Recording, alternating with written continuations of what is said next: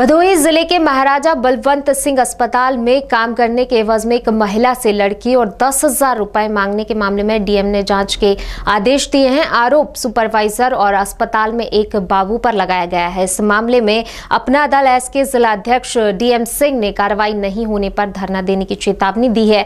दरअसल पूरा मामला यह है कि सुरियावा थाना क्षेत्र के तुलापुर बहरदुरान निवासी सुशीला देवी नामक पचपन वर्षीय महिला एमबीएस अस्पताल में एक कार्यदायी संस्था के माध्यम से सफ़ाई कर्मी का काम करती थी, उन्हें पाँच हज़ार रुपए मानदेय मिलता था। पिछले दिनों उन्हें यह कहकर नौकरी से हटा दिया गया था कि दो माह बाद फिर रख लिया जाएगा। महिला का आरोप है कि वह दोबारा काम के लिए आई तो सुपरवाइजर और अस्पताल के एक बाबू ने दस हज़ार और एक लड़की की व्यवस्था की डिमांड की। महिला ने मामले की शिकायत डीएम से की। डीएम ने एसडीएम को जाँच सौंपते हुए एक सप्ताह में रिपोर्ट मांगी है और इस मामले में बड़ी बात तो यह है कि यह पूरा मामला आउटसोर्सिंग के कर्मचारी से जुड़ा हुआ है। लखनऊ की कंपनी ठेके पर कर्मचारियों की नियुक्ति करती है। बहरहाल स्वास्थ्य महकमे के साथ ही लखनऊ की कंपनी जाँच के घेरे में आ गई है।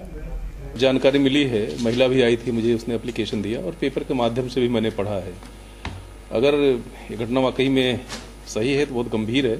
हमने एसडीएम को जाँच अधिकारी नियुक्त कर दिया है। उनको एक हफ़्ते में जाँच करके आख्या देने के लिए कहा है।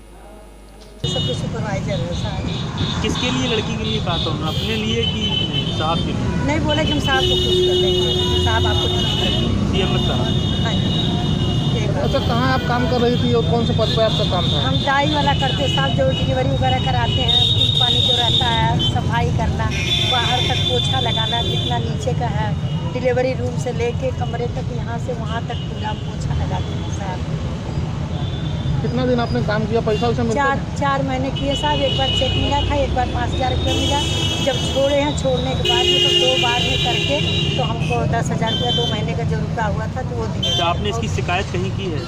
नहीं साहब हम कहीं गए नहीं। ये हमको बहाना करते थे कि दो महीने में रखवा देंगे तीन महीने में रखवा तो देंगे। श्रम विभाग में कोई शिकायत की थी क्या आपने? तब हम गए हैं साहब अब गए थे। तो दो हज़ार रुपया जो हमारा पी एफ़ का इन्होंने मांगा था कि पी एफ़ का दे दीजिए।